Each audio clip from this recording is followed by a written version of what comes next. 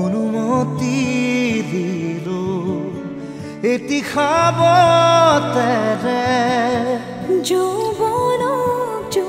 হাই সকলোকে নমস্কাৰ আৰু অহা বাৰ তাৰিখে বাৰ মাৰ্চত আমি আমাৰ এখন নতুন চিনেমা তাৰ অডিঅ' আৰু ভিডিঅ' আমি ৰিলিজ কৰিম। নামটো হৈছে শ্লাম বুক এল কে প্ৰডাকশ্যনৰ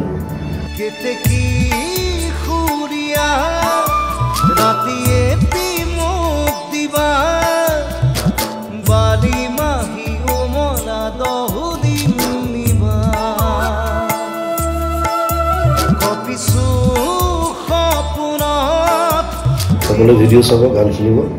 আৰু বাৰ তাৰিখৰ পৰা আপোনালোকে অডিঅ' ভিডিঅ' দুটা পাব। সকলো চেনেলতে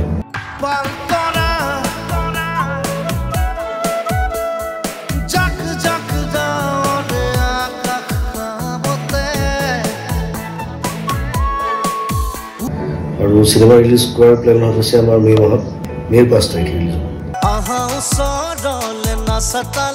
তালে গানত শিৰে শিৰে জাগি উঠে কিনো সিহঁতন মনত চ' আমি খবৰ দিম আৰু সকলোৱে আহিব চিনেমা চাব শ্লাম বুক চাব। থেংক ইউ জীৱনে কি দিলে কি নিলে?